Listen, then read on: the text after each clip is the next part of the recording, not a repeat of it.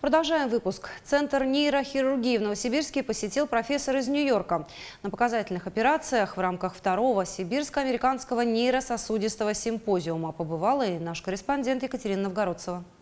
Подобный симпозиум не первый в практике Центра нейрохирургии. Сюда ежегодно приезжают российские и иностранные светила медицины. В программе встречи доклады от практикующих нейрохирургов и показательные операции. Разбирают сложнейшие случаи. Этот доклад был посвящен э, хирургическому лечению кавернозных ангиом ствола головного мозга.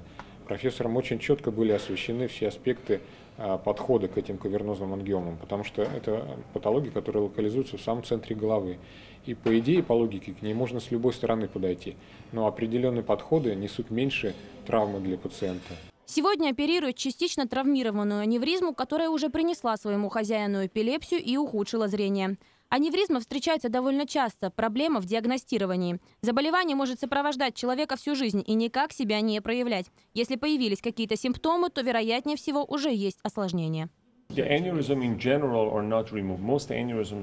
Как правило, аневризму не удаляют. Большинство аневризм клипируют, то есть блокируют зажимами. Удаляют ее в крайне редких случаях, когда она травмирована или когда она очень большая, как та, которая оперирует сегодня.